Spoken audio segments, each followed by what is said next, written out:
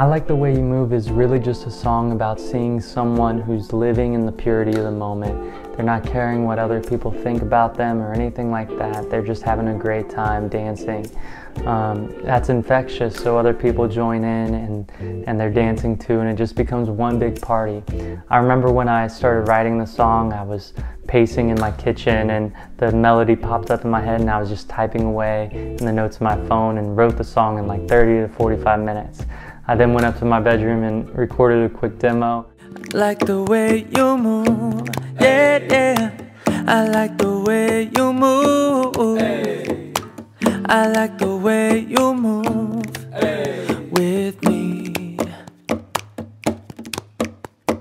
Um, and I took it to LA and showed it to Jesse Barrera, and he helped refine the song and uh, write a bridge to it and uh, I, am just really happy with the way that it turned out and I hope that it communicates um, to just enjoy life and not, not care about what others think and live in the moment.